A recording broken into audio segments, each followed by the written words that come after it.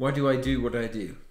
Well, uh, as a young child, I grew up with uh, a lot of mechanical stuff, Meccano. My father was a historic car enthusiast, and uh, his father in law was uh, an automotive and then aviation engineer. So I was in, grew up in an environment of mechanical stuff and cars, and it uh, just caught my imagination from that young age. And it's something which has stayed a fascination for mechanical things and what we can make uh, using our uh, idea from the mind and then with our hands to actually create a machine which which works and which functions especially when you look at the size of a mechanical watch which is a relatively simple mechanism in theory on paper but actually it's very very difficult to make it work well make it work reliably reliably and to actually deliver the. I think we cut that sentence. Oh, it's, it's, it's, it's, it's lovely. Michelle, could I get a glass of water? so, why choose uh, horology as a, as a career was uh, something which uh, which came at quite a young age. Um, when I grew up in the UK, there was no watchmaking. Of course, it was uh, it was all finished. So, around 1980, 81 you had a, a period of uh, crisis in industry. A lot of um, engineering was uh, was being reprofiled. There was new technology starting to appear, and a lot of antiquated uh, methods were, were going out. So while my passion was for mechanics and initially cars, I realized that um, this was all in movement, and I couldn't quite see where that was going to go. And then a chance uh, occasion, uh, an antique clock shop in the, the sort of the, the Cotswolds, we call it in the UK, uh, where there were the machines to make the parts, and then there was this artistic side of seeing an antique clock uh, as both a decorative object with craftsmanship and hand handwork, but also that precision and the and the mechanics going on behind. So for me, that was that was the turning point really, and I thought uh, it would be great if I could learn how to make a clock uh, initially at that age, around 12, 13 years old. Um, because from there, perhaps I could get people to commission to make a new clock, because the ones I was looking at were 100, 200 years old. So it'd be nice to, to make something uh, uh, in a contemporary contemporary format.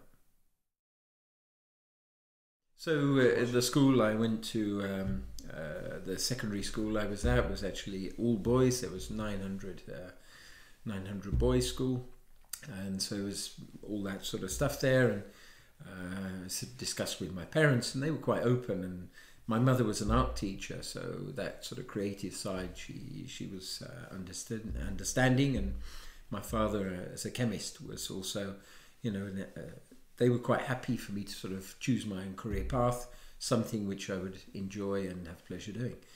And they went to the careers master and uh, asked about horology, and the guy gives them a bit of a blank look because obviously it was not a word he'd ever come across in the dictionary. And so a little bit of pushing, and uh, they found there was still a school in London.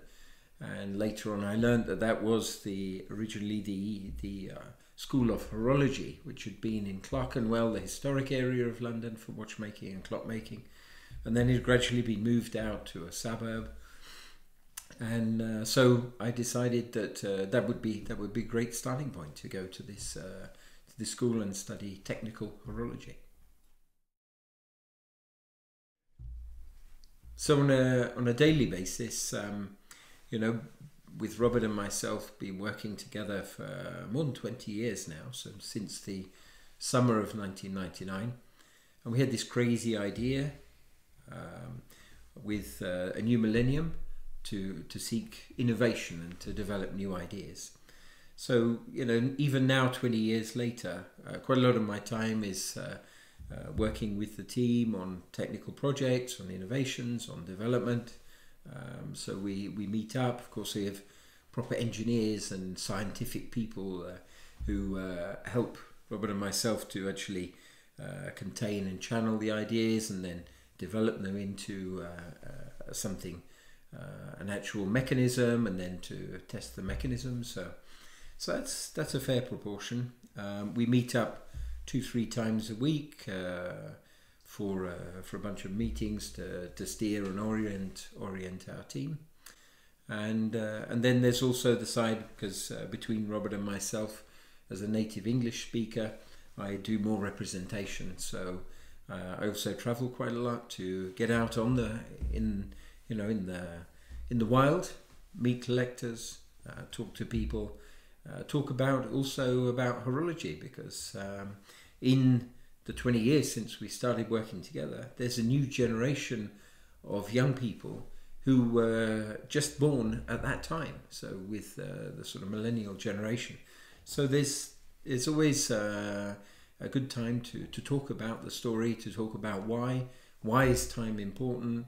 Why is watchmaking important? Why do we think mechanical watchmaking and the skills and uh, crafts which are behind it, why should we preserve those for the future?